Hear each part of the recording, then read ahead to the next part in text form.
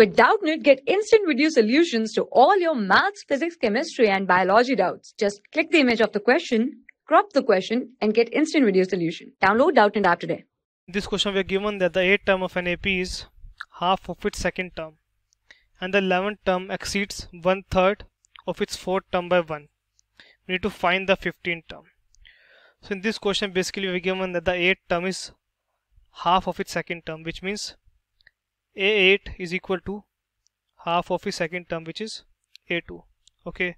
And the second condition given to us is the 11th term which is a11th is equal to one third of its fourth term by 1 exceeds one third of its fourth term by 1 so we get one third of fourth term plus 1 okay? So now we know that nth term of AP is given by a plus n minus 1 into d. So use this formula and put this equation this formulas will get. A8 will be this is equation first this is equation second.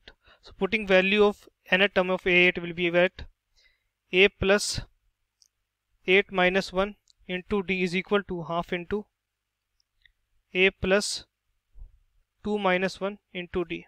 Okay? So now further solving we will get a plus 7d is equal to half into a plus d. Okay so a cross multiplying will get 2a plus 14d is equal to a plus d. Further solving it will get a plus 13d is equal to 0 this is our equation third. Now second equation is a11 is equal to 1 third of a fourth plus 1 so we'll get a11 is equal to one third of a4 plus 1 okay? Now we know that 11 term is given by a plus 11 minus 1 into d which is equal to one third of fourth term is given by a plus 4 minus 1 into d plus 1 okay? By solving it will get a plus 10d is equal to 1 by 3 into a plus 3d plus 1 so here we'll get a plus 10d is equal to a plus 3d plus 3 by taking LCM divided by 3 so now 3 will go this side so we'll get 3a plus 30d is equal to a plus 3d equal to 3 so we'll get 2a plus 27d is equal to 3 this will become our equation fourth. Now equation 3 is a plus 13d equal to 0 by multiplying 2 on both sides we'll get 2a plus 26d equal to 0 which is equation 5th now by subtracting equation 4 and equation 5 we'll get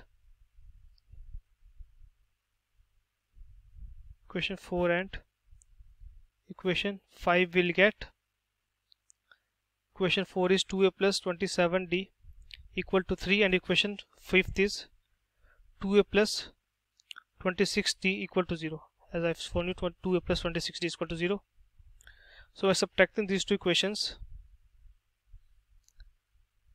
we'll get 2a we consider 2a so we get the value of d is equal to 3 so value of d will be equal to 3 so putting value of d in equation third which is a plus 13d equal to 0 so value of a plus 13d is equal to 0 putting value of d is equal to 3 in this equation we'll get a plus 13 into 3 is equal to 0 which will give us a is equal to minus 39 a is equal to minus 39 and value of d is equal to 3 as in this question we have to find the 15th term. As we already told you the nth term of AP is given by a plus n minus 1 into d. We have to find a 15th term so we'll get a plus 15 minus 1 into d which is equal to a plus 14d.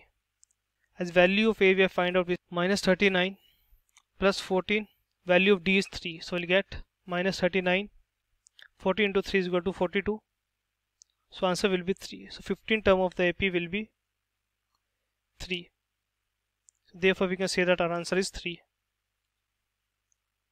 For class 6 to 12, IIT JEE and NEET level. Trusted by more than 5 crore students. Download Doubtnut app today.